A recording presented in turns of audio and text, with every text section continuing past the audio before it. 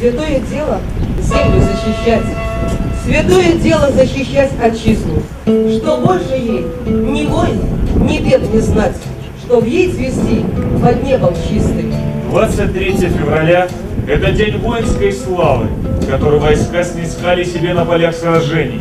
Изначально в этом дне был заложен высокий смысл – любить свою родину и в случае необходимости уметь ее отстоять.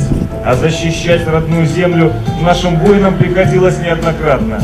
И всегда солдат с честью выполнял свой долг.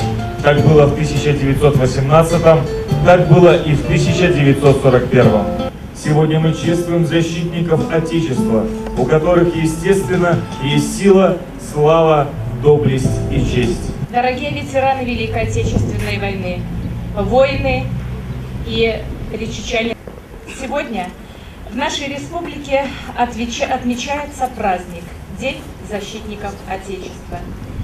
Этот праздник стал поистине народным, потому что судьба каждой семьи так или иначе связана с защитой Отечества. Мужество, стойкость, самоотверженность испокон веков были символами народного единства. Они стали залогом мирного, созидательного труда многих поколений. Белорусы свято чтут память о ратных подвигах наших соотечественников. Их имена навечно сохранены в наших сердцах, запечатлены в названиях улиц, городов и сел. В нашей стране нет, нет такого человека, который бы не коснулся к защите Отечества.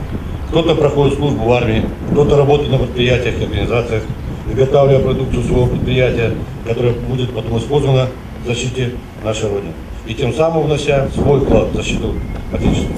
Наш глава государства неоднократно обещал в своих выступлениях, что не может существовать государство без армии, которая обеспечит жизнь и покой своих граждан. Именно здесь, на этом месте, хочется преклонить колени и обнажить голову перед памятью, перед вечностью. Именно здесь острее чувствуешь ту связь, что объединяет разные поколения. Это место серьезных размышлений о родине, истории, о людях, которые жертвуют собой ради спасения других.